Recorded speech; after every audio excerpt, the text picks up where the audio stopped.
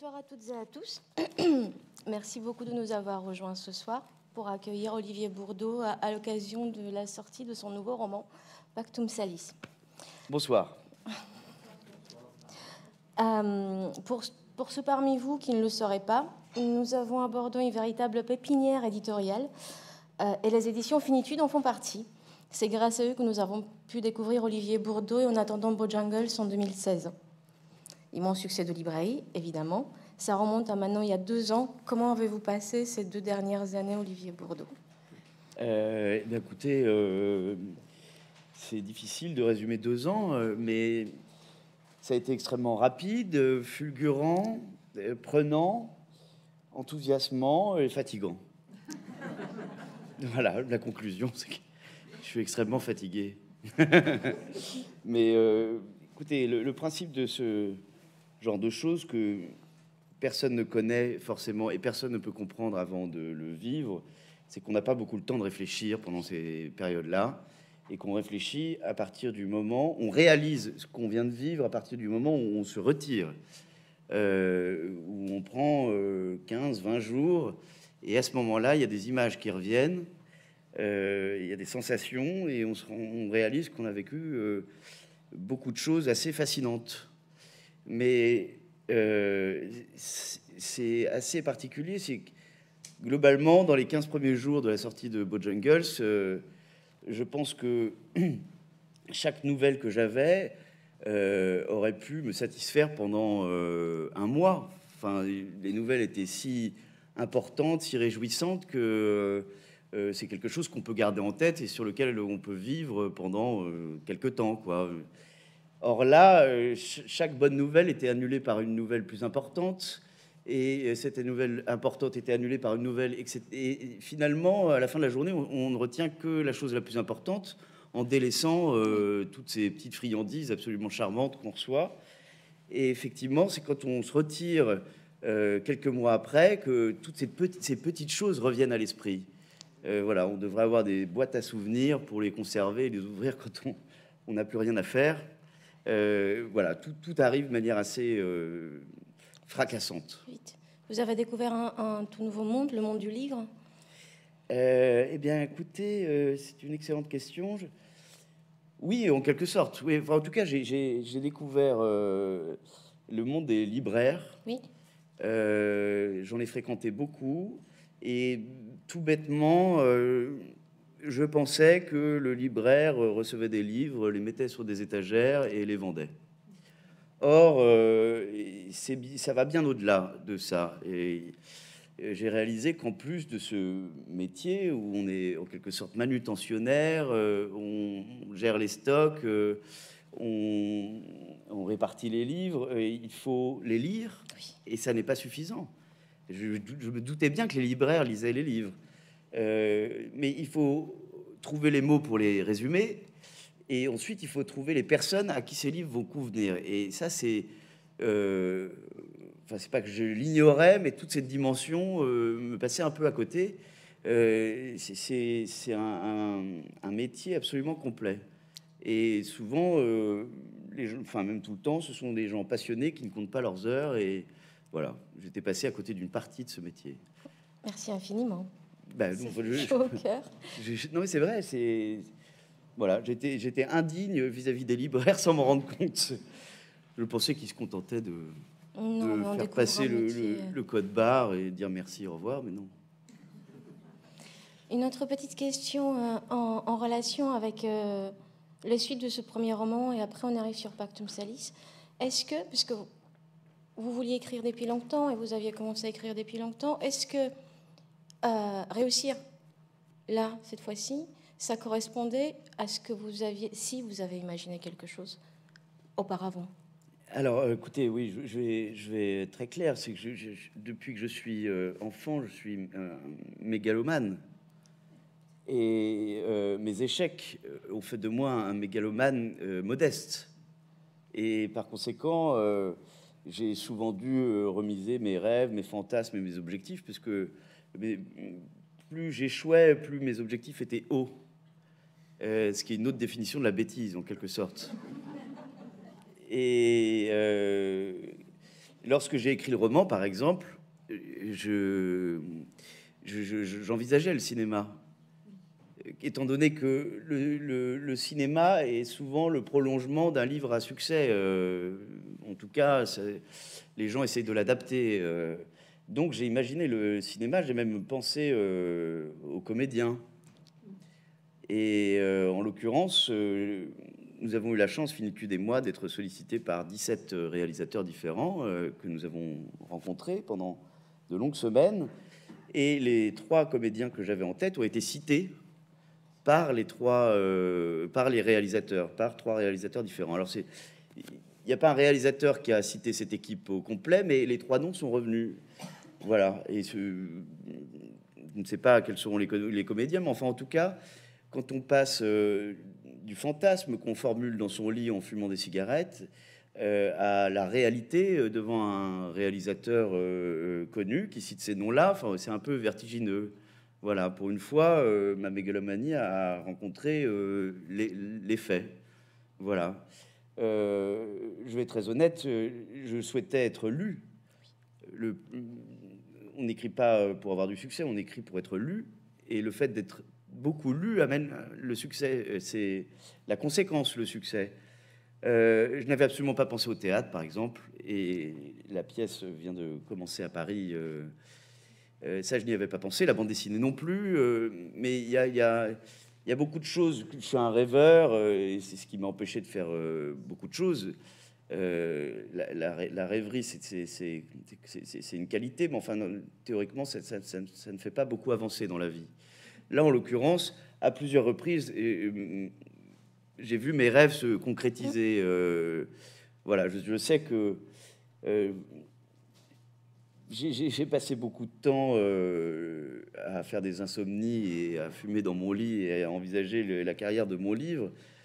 Et il y avait un. J'imaginais la réception de la presse et j'avais envisagé un titre qui était Olivier Bourdeau fait danser la folie. Et euh, trois semaines après la sortie, les Inrock ont mis ce titre-là. Voilà.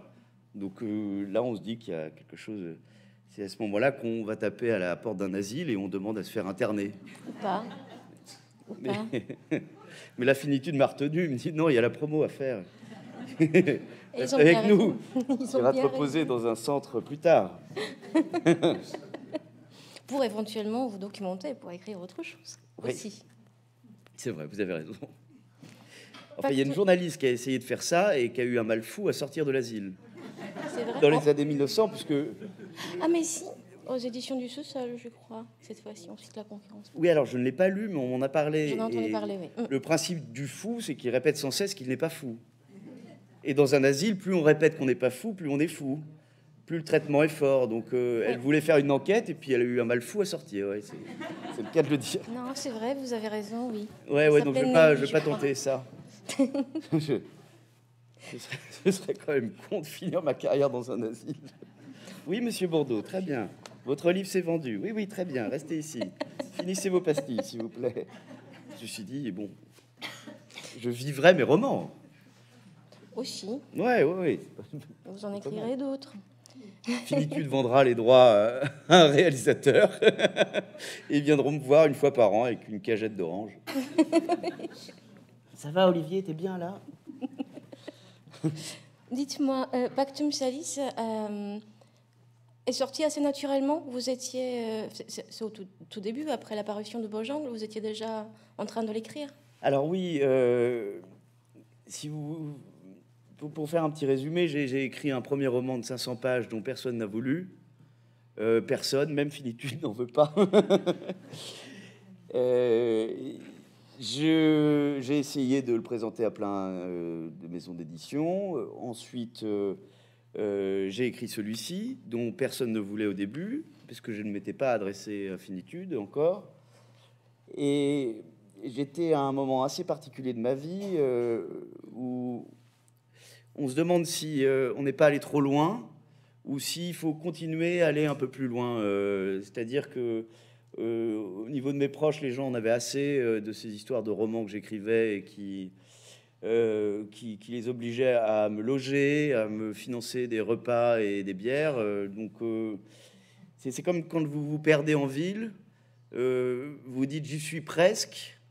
Euh, qu'est-ce que je fais? Est-ce que je fais demi-tour pour avoir la certitude de retrouver le bon endroit ou est-ce que je continue à avancer? Voilà. Alors, euh, je me suis dit que j'allais m'acharner. à ce moment-là, beaucoup de mes amis ont eu les épaules qui s'affaissaient littéralement en se disant c'est pas possible, on va encore supporter pendant. Surtout que je leur ai dit que c'était un roman beaucoup plus long. les ils se sont dit zut, c'est six mois, un an, combien de temps ça va durer ces âneries? Et, finalement, donc j'ai commencé à écrire celui-ci. J'ai écrit à peu près 150 pages. Et Finitude m'a appelé euh, euh, pour me dire que je serais édité. Quelques semaines plus tard, je leur ai envoyé mon roman. Et euh, voilà, ils semblaient intéressés. Et j'ai dû le terminer l'année dernière entre deux séances de promotion à l'étranger. voilà, j'ai alterné séances d'écriture et séances de promotion à l'étranger. Donc quand j'ai commencé ce roman, je ne le destinais qu'à 30 euh, personnes, en quelque sorte. La, pression était très faible. Voilà. Et quand je l'ai terminé, étant donné que j'étais déjà bien lancé, je ne pouvais pas radicalement modifier mon, roman. Parce qu'on me demande, est-ce que vous avez eu de la pression pour euh, l'écriture de la fin? Oui.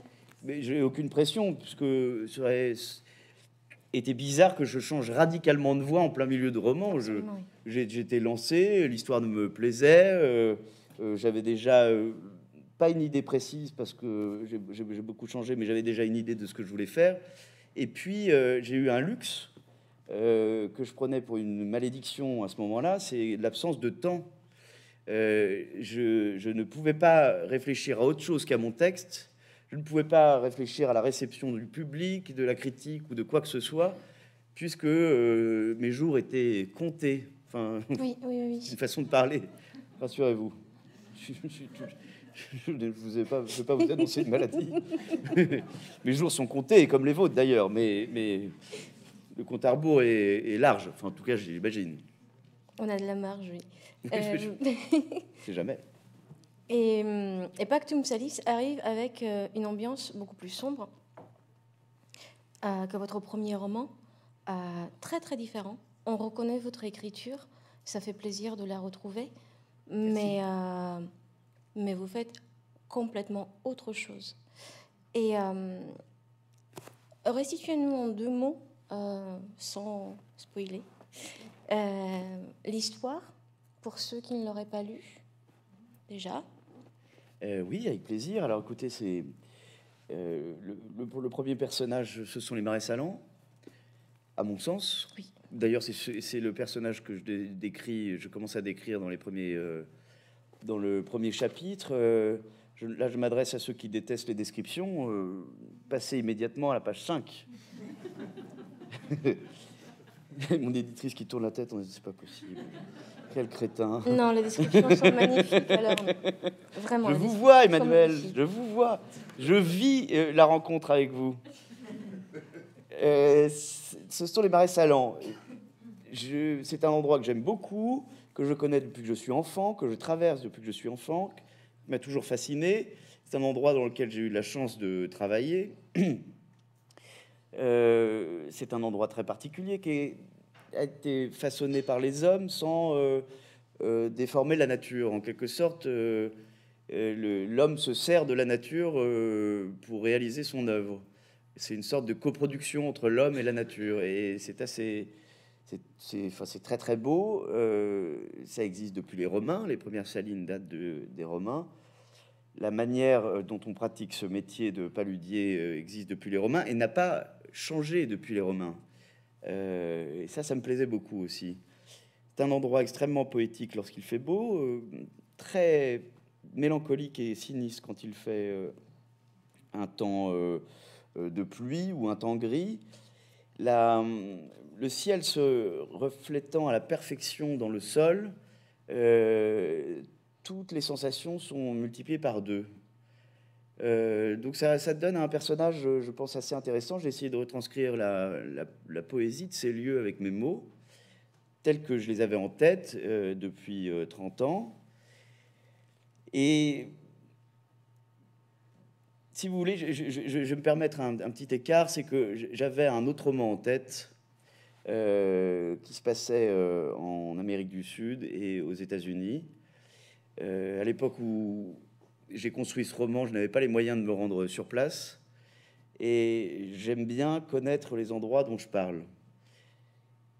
Et donc euh, j'ai dû euh, abandonner ou le, laisser de côté, puisque à l'époque euh, je n'avais absolument pas les moyens d'y aller, et je comptais me remettre à écrire assez vite. Et donc j'ai décidé de parler de choses que je connaissais.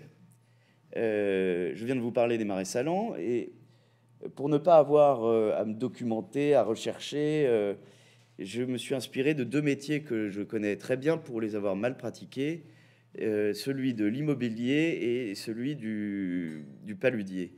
Ce sont, comme tous les métiers, des métiers qui ont leur euh, vocabulaire propre, leurs anecdotes propres, leurs codes propres. Et euh, ça, j'avais ça immédiatement en tête. Je pouvais me mettre à écrire immédiatement. Voilà, ça, c'était un vrai luxe. Je n'avais pas besoin d'aller fouiller. les personnages pouvaient exister immédiatement.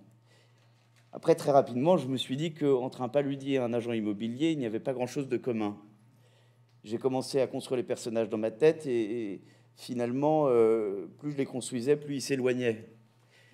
L'un euh, s'appelle Michel, mais en réalité il s'appelait euh, Michael.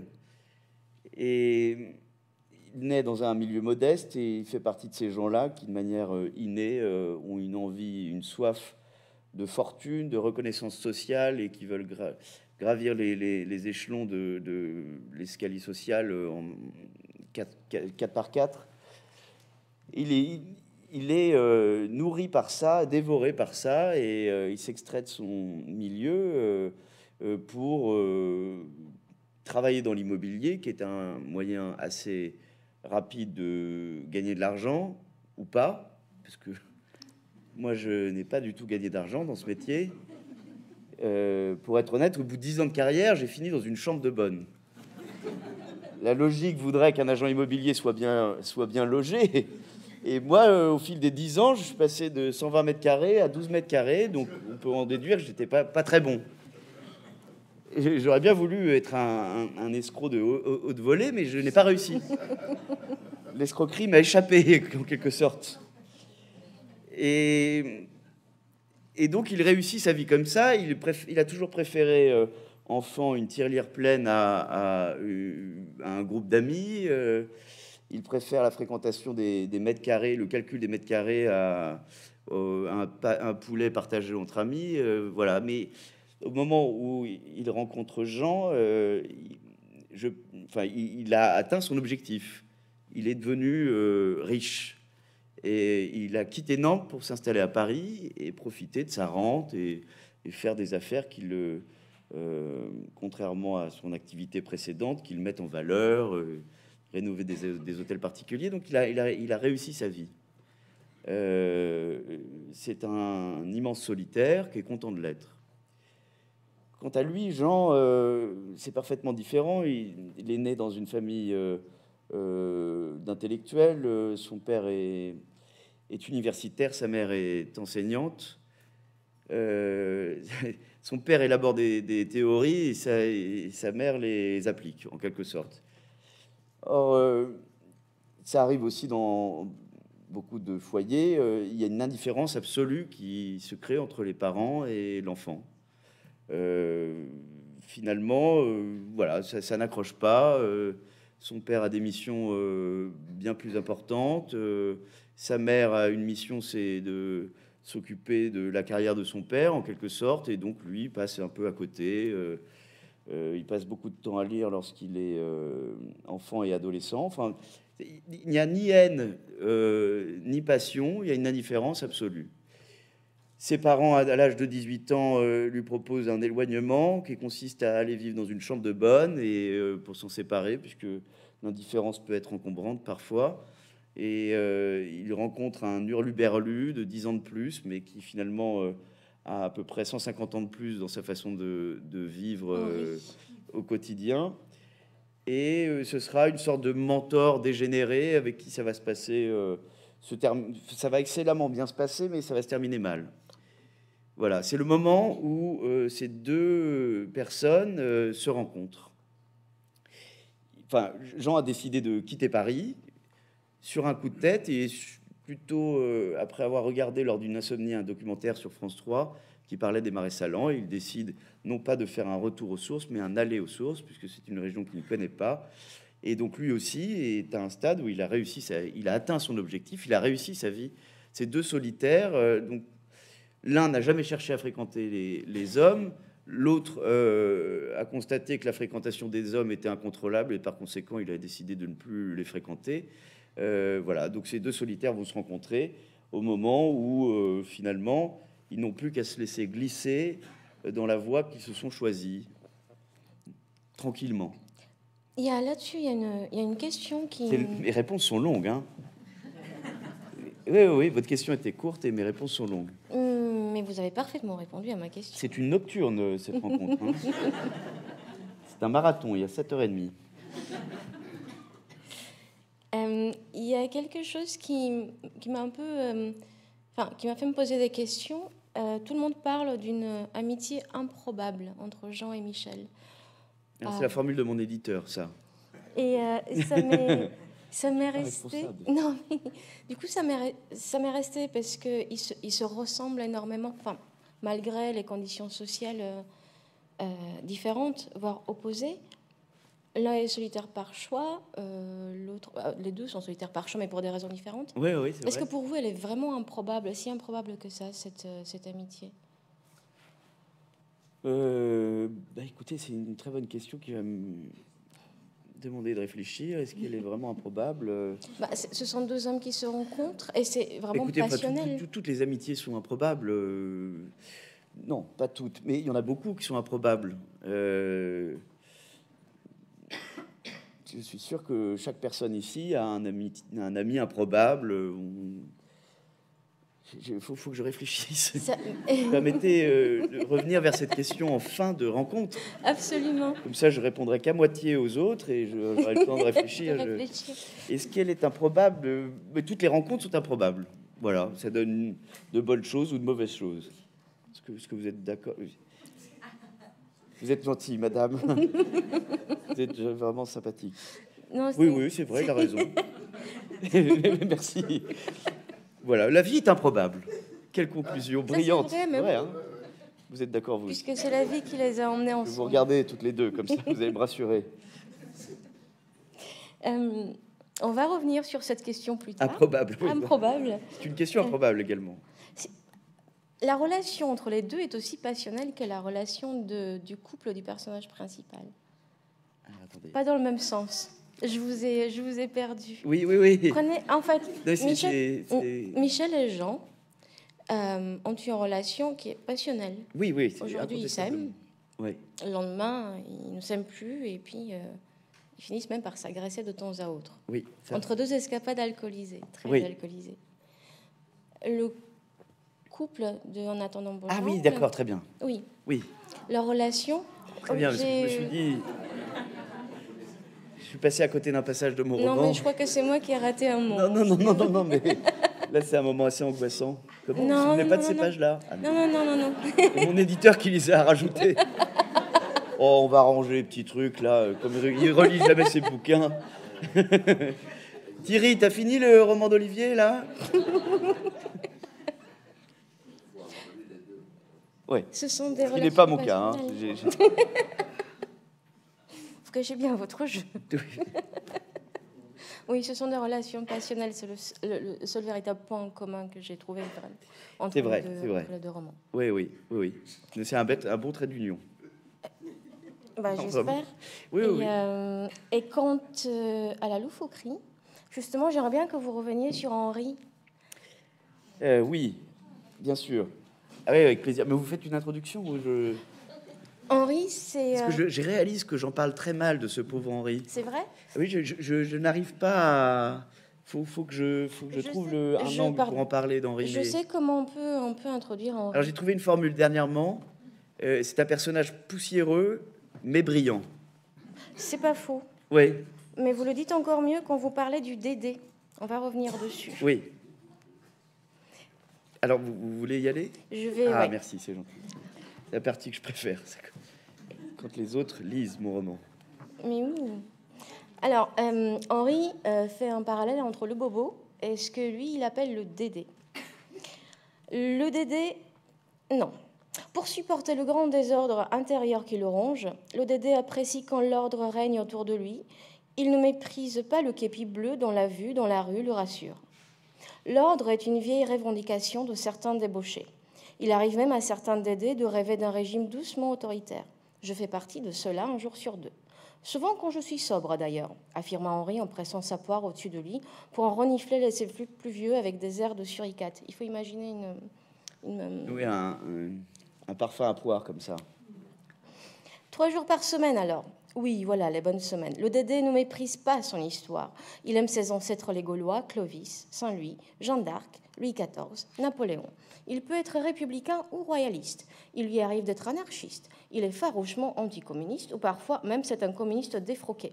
Le Dédé récupère les brebis égarées, il laisse la porte de la bergerie ouverte, il n'est pas rancunier. Une grande âme et des petits principes.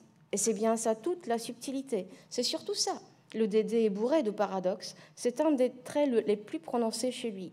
Mais ce qui le différencie des bobos, c'est qu'il les assume, il les revendique même. Il a le, paradoxe en bandoulière. Il l'affiche en vitrine sans complexe. C'est ce qui fait son charme tout en nuances. Il trouve qu'il y a trop d'étrangers en France, mais se délecte de kebab et d'ambule à Barbès avec plaisir. Quartier où il trouve un charme irrésistible aux moutons de cheveux qui fleurissent sur les trottoirs des coiffeurs africains. Il souhaite un rétablissement des frontières, mais remplit son coffre de cartouches de cigarettes dans les pays limitrophes. Il veut que la loi s'applique fermement, mais hurle à la dictature lorsqu'il reçoit ses amendes de stationnement et d'excès de vitesse, qu'il pratique joyeusement avec un verre dans le nez. Il aime beaucoup l'art de la conversation, mais ne dédaigne pas les châtaignes pour y mettre un terme. Il veut tailler dans le vif des dépenses sociales, mais aimerait conserver ses aides au logement. Contrairement aux bobos circonscrits dans une catégorie socio-professionnelle étroite, l'ODD se retrouve partout. Alors euh, oui, le, si vous voulez, j'en avais assez euh, que euh, en France, il y a une opposition unique et exclusive entre les beaufs et les bobos. D'ailleurs, c'est souvent scandé comme des attaques ou des insultes, sale beauf, pauvre bobo. Il existe plein d'autres tribus satellites absolument charmantes. Et le DD en fait partie, c'est le débauché de droite, dont le. Qui, déforme un peu liberté, fraternité, égalité. Pour lui, c'est liberté réelle d'expression, égalité devant le ridicule et fraternité avec ceux qui ne pensent pas comme vous. Euh, c'est un être, euh, ce Dédé-là, en l'occurrence, celui que je décris, qui s'appelle Henri, euh, descend d'une vieille bourgeoisie bretonne, vieille et honnête bourgeoisie bretonne, mais compte tenu de sa décadence physique et financière, il n'a plus rien de bourgeois, il reconnaît lui-même qu'il n'a jamais été honnête, et il euh, finit sa longue glissade sociale en étant propulsé au sommet d'un immeuble haussmanien dans, un, dans une chambre de bonne. Euh, c'est le personnage qui va, comment dire, il y a une indifférence incroyable qui règne entre Jean et ses parents, et finalement, lorsque Jean s'installe dans cette chambre de bonne, il va tomber sur ces hurluberlus, euh, souvent ivres, très cultivés, avec beaucoup de panache. Euh, assez généreux, assez, euh, comment dire, euh, anti-politiquement correct, puisqu'il a une technique, c'est que comme il est assez fasciné par ce qui se passait au siècle précédent, il considère qu'il aurait mieux fait d'épouser sa grand-mère. C'est quelqu'un qui est né avec, avec 30 ou 40 ans de retard, et, je crois qu'il le regrette vraiment. Mais sa liberté d'expression, euh, est celle des années 60 et n'est pas celle de 2015. Donc il enjambe assez facilement euh, les frontières du respectable et dès qu'il sent qu'il euh, a dit quelque chose de nauséabonde ou de politiquement incorrect, il sort une petite fiole de parfum avec une poire et pour rendre son air moins nauséabonde, il il l'arrose comme ça. Alors quand il est dans les bars et que quelqu'un vocifère euh, et, sort des, des, propos qui ne sont plus convenables, que le CSA, par exemple, euh, blâmerait, eh bien, euh, Henri se lève et il arrose la personne avec du parfum. Voilà, pour que l'air soit moins nauséabonde. Et Parce que l'air est de plus en plus nauséabonde. plus les gens parlent, plus c'est nauséabond. Donc il faut, faut foutre du parfum là-dedans. quoi. C'est On, on vous sent, euh, je ne sais pas si vous allez être d'accord, mais on vous sent euh, très engagé euh, dans. Il y, y a dans le récit, euh, il y a l'histoire qui se déroule, mais on vous entend, vous, peut-être aussi un petit peu derrière, avec des petits coups de griffe, euh, contre les apparences, euh, l'habitude d'être connecté perpétuellement, la télévision. Euh, on, vous, on entend peut-être Olivier Bourdeau un petit peu entre les lignes? Oui, alors écoutez, euh, ces, ces deux personnages, Jean et Michel, sont les versions abouties de ce que j'ai voulu être à un moment. Je ne suis pas eux, ils ne sont pas moi.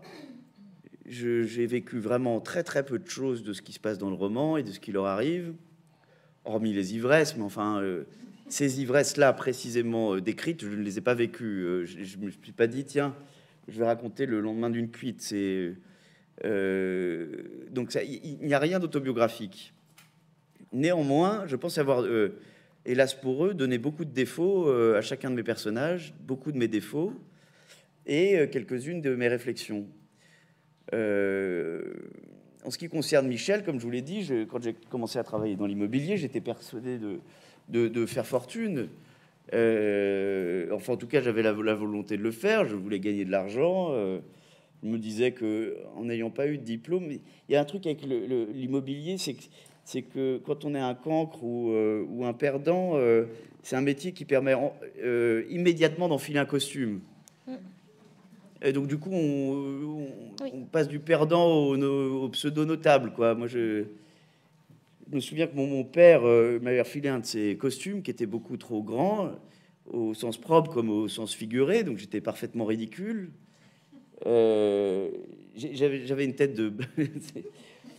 j'avais à 18 ans, je ressemblais à un mec de 14 ans, donc euh, j'étais j'étais très. euh, j'avais une tête juvénile. Les gens se demandaient ce que je foutais là pour leur faire visiter des maisons. Ils hésitaient à me demander où était mon père ou mon maître de stage. J'étais extrêmement stressé, donc j'avais plein de pellicules sur mon. J'avais tout le temps les mains moites. Enfin bon, je, je me prenais pour un businessman alors que j'étais un clown. Et, euh, et qu'est-ce que je. Oui, mais enfin. c'est- C'est que, en fait, si vous voulez, je, je suis passé du statut de, de perdant, mais j'avais quand même un costume. Je portais plein de trousseaux de clés. euh, on m'appelait monsieur tout d'un coup. euh, et donc j'avais l'impression d'avoir fait un saut incroyable. Je me, je- et bon, bah, c'était ça a été un fiasco. Et, et Michel, lui, pour le coup, Oui, commence à 18 ans et ça marche très très bien. Il, il a réalisé ce que je voulais faire à un moment. Rassurez-vous, je ne veux plus être euh, agent immobilier.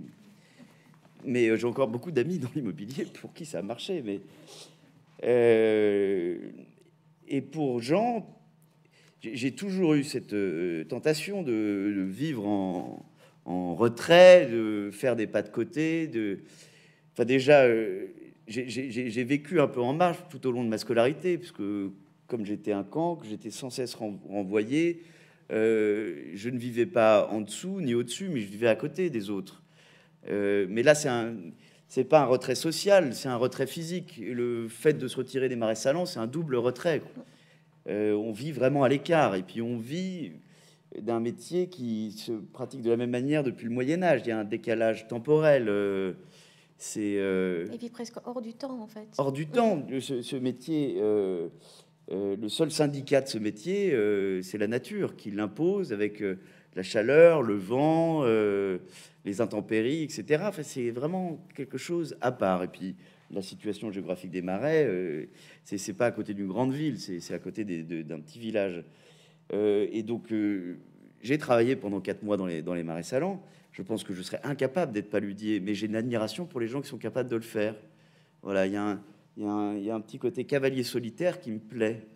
Euh, donc, ces deux personnages ont réussi là où j'ai échoué. Parce que, incontestablement, euh, euh, ce soir est la preuve que je ne suis pas vraiment retiré du monde. Pas vraiment retiré du monde sur une estrade devant euh, 7000 personnes. Au moins. Aussi. Pas- J'ai répondu à votre question. Ah oui, non, oui, voilà, oui. Parce que vous Non, mais êtes quand mis, même j'ai mis pas mal. Oui, j'ai mis quelque chose de moi, c'est-à-dire que effectivement, j'ai- je, je, je, je, souffre de. Alors, on dit tout le temps hyper en ce moment. C'est quelque chose. C'est tout le temps. Et tout est hyper. Tout le monde est ultra. On est ultra connecté, ultra motivé. On est hyper bien et tout, etc. Enfin, on avait l'impression que plus le mot hyper est, est prononcé, euh, moins on est proche de la vérité. Et, et donc, euh, moi, je suis très sensible, euh, n'ayant pas vécu avec une télé, je suis très sensible aux écrans, euh, j'ai réalisé que je devenais absolument débile quand j'avais un téléphone intelligent dans le fond de ma poche. Et, donc, je n'ai plus de téléphone intelligent. Et je souffre, euh, euh, je souffre de, de la présence d'Internet, etc. Parce que quand, quand Internet est là, je, peux passer 7 heures. je suis assez maniaque. Et finalement, quand je me couche, j'ai lu des tonnes d'articles et et je je me sens pas euh, je me sens pas plus, plus intelligent. Ça, me fait un peu le sentiment d'un McDonald's, vous voyez? Oui. C'est-à-dire que euh, ça, fait du bien sur le moment, et puis ensuite, quand euh, vous allez manger, vous sentez ballonné et un peu déprimé. Oui, c'est la vérité. Mais, mais, mais c'est tellement dur de fermer son ordinateur parce qu'il y a tel, tellement de suggestions. Vous lisez un article et puis vous commencez par la politique, et puis vous en lisez un autre parce qu'il y a des annonces séduisantes, et puis trois heures après, vous finissez sur une recette d'une crumble, crumble aux pommes. Et là, vous dites quand est-ce que ça va s'arrêter? Est-ce que je vais regarder la recette des, euh, avocats crevettes? Enfin, et, finalement, vous regardez pour une chose, et puis vous passez trois heures à regarder autre chose. Et finalement, on, lit un livre en quoi? Deux, trois heures en quelque, euh, en quelque sorte. Donc quand on passe six heures sur Internet, on peut passer euh, on peut lire deux livres, même un seul. Vous, réalisez que euh, même lire un livre par jour, c'est fantastique. On se couche avec le sentiment, déjà, on, se sent un sentiment de bien-être, et puis on se sent un peu moins con. Donc ça, j'en souffre. Chaque matin, j'ai la chance d'habiter en Espagne avec une vue absolument somptueuse sur la mer. et ben non, je, je, me lève, au lieu de prendre un café en regardant la mer, je regarde mes mails. Et au bout de trois heures, je me dis, mais qu'est-ce que je fous là? Donc je suis obligé de fermer d'un geste un peu violent pour aller sur ma terrasse et lire. Mais j'arrive à le faire maintenant. Alors qu'auparavant, je, pouvais, euh, sans regarder la mer, rien du tout. C'est une petite remarque personnelle, c'est que j'ai essayé parfois de me mettre sur ma terrasse avec mon ordinateur. Je ne regarde pas la mer. Or, quand je lis, eh bien, vous sortez euh, de votre livre, vous regardez autour, vous relisez euh, un passage, vous prenez votre temps. Alors que euh, Internet, c'est vous dévorez, vous mangez, vous mangez, vous regardez rien de ce qui se passe autour. Ma petite amie en souffre parce que je lui réponds par des syllabes. Un, o, et. Je réponds sept minutes après. C'est voilà. Donc ça, j'en souffre. Euh, et donc j'ai mis le fruit de mes souffrances euh, dans, dans ce pauvre Jean. Voilà. Non, mais vous, vous, avez bien fait parce que justement, justement. Faites tout. oui, c'est bien de parler de ses souffrances devant On ne le sent pas comme une souffrance, mais on le sent comme, euh, comme, euh, comme une mise au point. Oui, mais je ne me sens pas assez fort. J'aimerais être plus fort vis-à-vis de ces choses-là, et je me rends compte que ça me bouffe la vie. Et je me moque que ça bouffe la vie des autres, parce que je suis profondément égoïste. Je, n'incite pas les autres à... c'est une petite philosophie personnelle, je ne fais aucun prosélytisme. Euh, je vois que moi, ça, ça, me pourrit la vie. Quoi. Mais justement, quand vous faites ce genre de remarques dans votre roman, il y a des tas et des tas de gens qui vont le lire et, ils vont être sensibles à ce que vous dites. Donc vous n'avez pas besoin de, faire du prosélytisme, mais vous n'avez pas besoin non plus de donner des leçons. Non, mais je ne veux surtout pas paraître pour ça. Je crois qu'il y en a assez euh, de, donneurs de, leçons. Donc je m'occupe de mon propre bien-être, comme tous les débauchés de droite. je ne m'occupe que de moi. Je vais revenir sur un sujet qui n'est pas drôle non plus, parce que hum, vous dites... Euh, J'ai fait un coming out là. Hein. C'est noté. Je hmm. préfère ne pas relever, par contre. les mains moites. La manière dont Michel... Euh, ah, il y a quelqu'un qui part. Bravo, monsieur. Belle ouverture d'esprit. On s'en souviendra.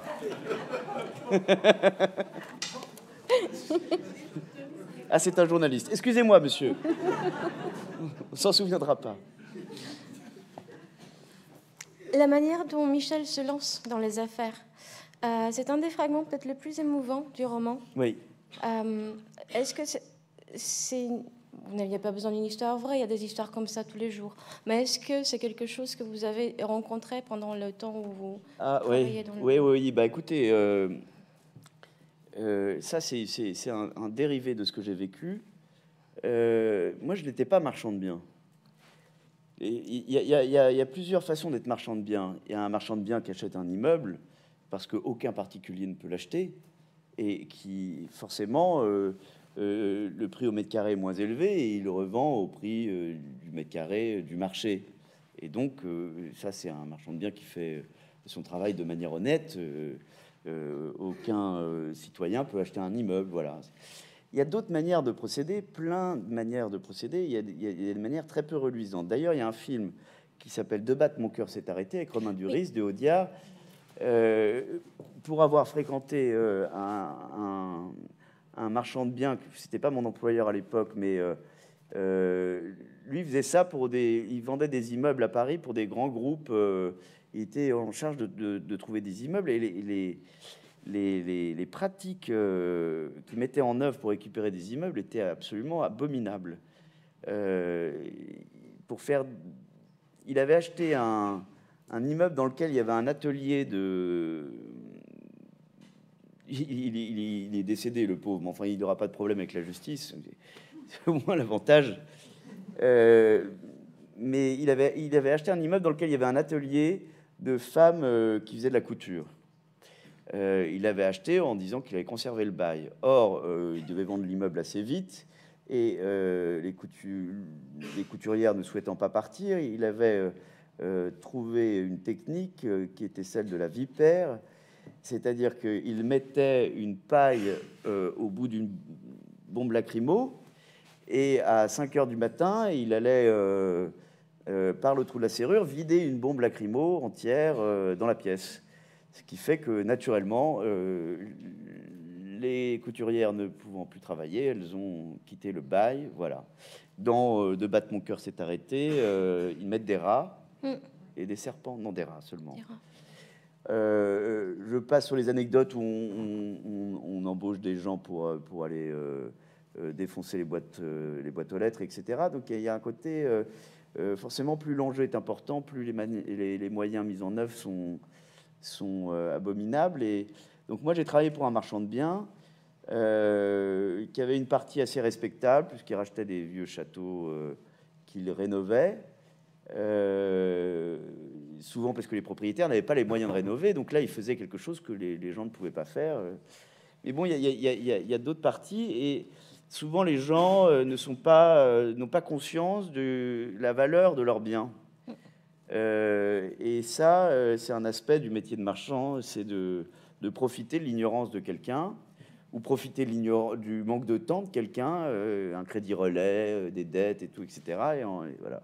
Et, donc moi, j'ai je, travaillé pour lui pendant dix mois, et une fois, il me demande d'aller déposer une offre chez un retraité euh, charmant. Et, euh, j'étais euh, extrêmement soulagé que, le retraité refuse. Parce que mon métier était de présenter les offres. je n'aurais pas fait mon métier si je n'avais pas proposé. Enfin, c'était assez compliqué. Et ce monsieur avait une pépite entre, entre les mains et il ne s'en rendait pas compte. Il, essayait de vendre sa maison qui avait une allure dégueulasse, mais qui valait beaucoup plus, puisque le terrain valait de l'argent, etc. Alors, je, n'ai pas été jusqu'à lui dire à cet homme-là qu'il avait, euh, s'il séparait le terrain, il, aurait pu euh, gagner peut-être le double, etc. Mais enfin, en tout cas, quand il a refusé l'offre qui était euh, vraiment indécente, que j'avais me sentais vraiment crasseux d'être venu la présenter. Euh, euh, ben, oui, je, suis sorti assez, assez, assez fatigué. Ouais, C'était très particulier. Or là, mon personnage de Michel se lance grâce à ça. J'ai pris ce cas de figure, sauf que le petit vieux, le, vieux n'a pas les, moyens de refuser, donc il accepte. Voilà, et c'est là-dessus qu'il construit sa, sa fortune. Bon, enfin, ça, dans, dans beaucoup de romans, des personnages se lancent sur un coup d'éclat euh, de reluisant. Ouais. Et, je, pense que oui, c'est un, un, moment assez touchant. Mm. Parce qu'il y en a un qui solde sa vie, l'autre qui lance sa carrière. Exactement. Et il y a un, chassé-croisé qui est assez terrible. On va s'arrêter sur ces belles paroles. Vous êtes fatigué Non. Merci. Merci infiniment. Oui, ça va, ça plu.